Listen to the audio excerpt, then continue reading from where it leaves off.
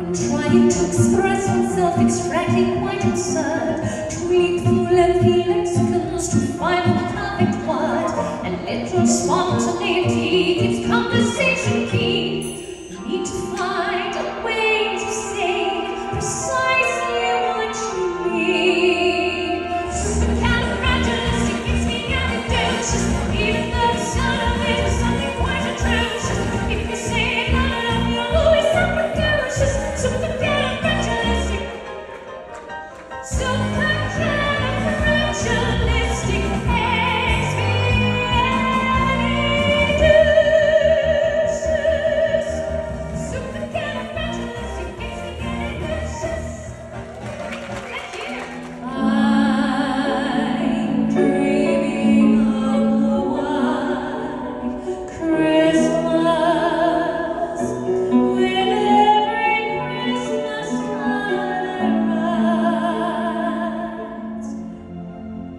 praise.